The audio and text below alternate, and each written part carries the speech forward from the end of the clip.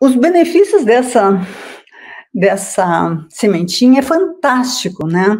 E é fantástico que vamos nos auxiliar a ter uma super disposição nesse período pré e pós-menopausa, porque a gente sabe que muitas vezes a pessoa já vai considerando que vai perdendo a disposição, que é natural, aquelas crenças limitantes, gente, que eu quero que tu tire da tua cabeça, por favor, né? Nós podemos passar pela menopausa e ter uma vida muito mais satisfatória, ter uma vida com muito mais energia, desde que tu faça as coisas que tem necessárias, né? E depois que tu começa a estudar, gente, assim, quando eu comecei a estudar agora para preparar, já sabia que era bom, já sabia que era excelente, mas tu começa a estudar, daí tu começa a te dar conta, meu Deus do céu, como elas são maravilosas.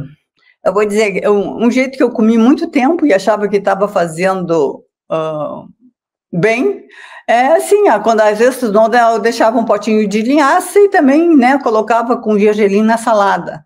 Só que o que acontece?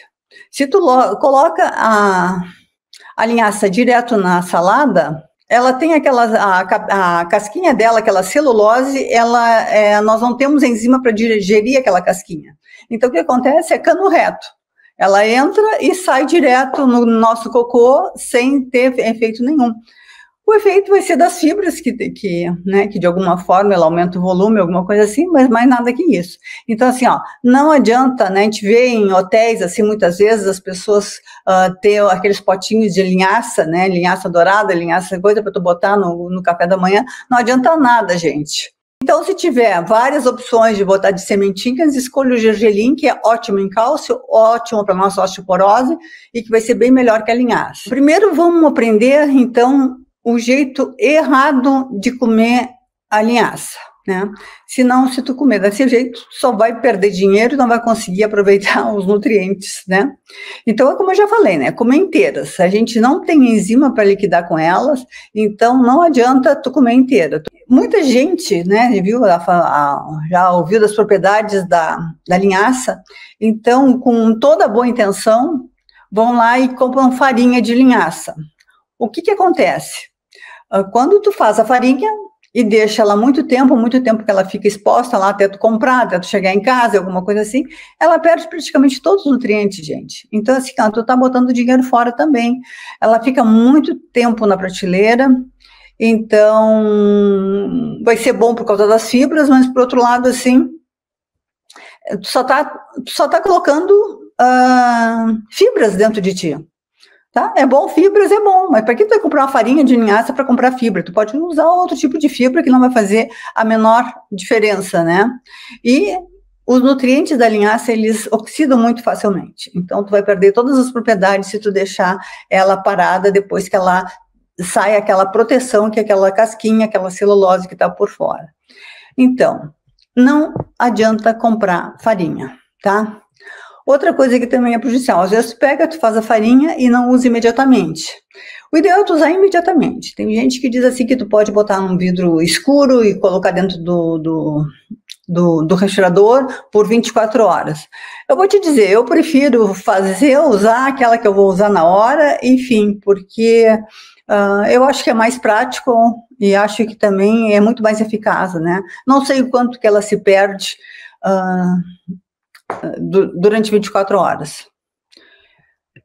Então, eu vejo muita gente, infelizmente, gastando, tendo boas intenções, fazendo uma série de, de, de, compras e que muitas vezes não tem o resultado que elas querem, justamente porque estão fazendo do jeito errado, né? não estão conseguindo aproveitar o, o melhor da, da, da linhaça, né? A linhaça é extremamente poderosa. E qual seria o jeito certo?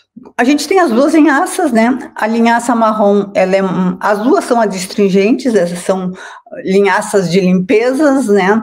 Ela a marrom é um pouquinho mais amarga, então ela vai ficar melhor quando tu utilizar, por exemplo, com algum, você vai fazer algum biscoito que seja mais saborizado, que tu vai botar mais algum tempero.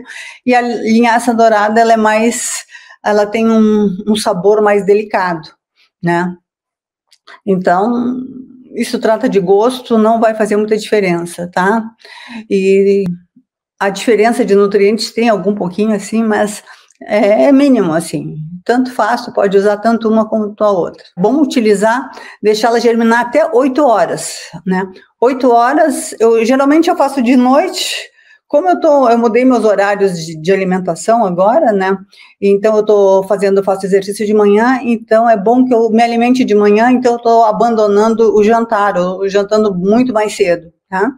Então de manhã, daí eu faço, eu preparo a minha linhaça. E como é que eu preparo, né?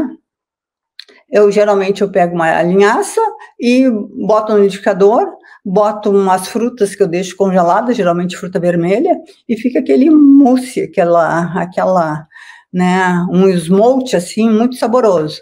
Tu pode botar mais líquido ou menos líquido, conforme se tu quer beber ou se tu quer comer como um creme.